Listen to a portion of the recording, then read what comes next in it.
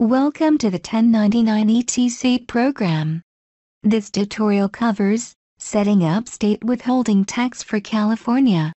This video covers the payer, employee and check setup.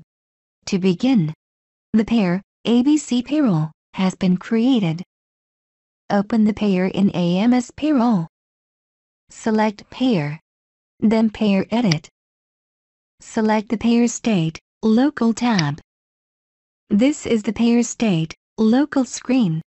Some information, such as the SUTA rates, and the depositor type have been set up. Click the drop-down arrow, beside the SITWH method. There are three options. The first option is Table. If selected, the state withholding calculations will be based on the state tax tables that are included in the program.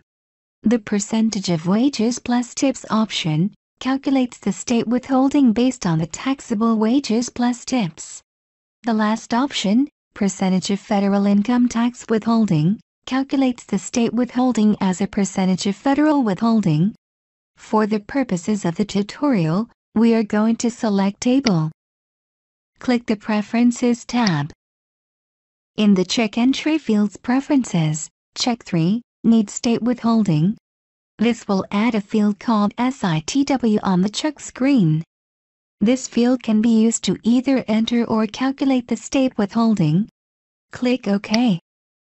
On the AMS Payroll menu, select Input. Next, highlight an employee and click Edit. Select the Live Payroll Parameters tab. In the Tax Calc Parameters section, on a blank line either click the number at the beginning of the line, or double-click on the blank line itself. Click the State, Local arrow.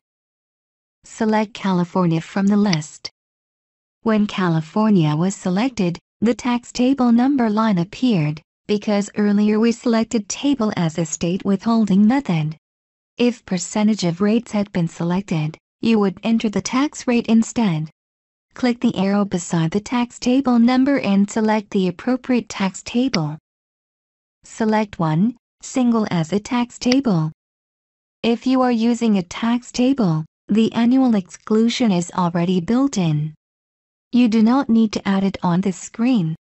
On the screen, you can also enter an add-on amount for state withholding. Click OK. The employee's state withholding has been set up. Click OK. Now, we are going to demonstrate how to calculate the state withholding on checks. Highlight an employee, and click Add Check. First, make sure that the correct state is selected on the check. If it is not, click the arrow and make the correct selection. Next make sure there is a check mark beside the SITW field, if not check it.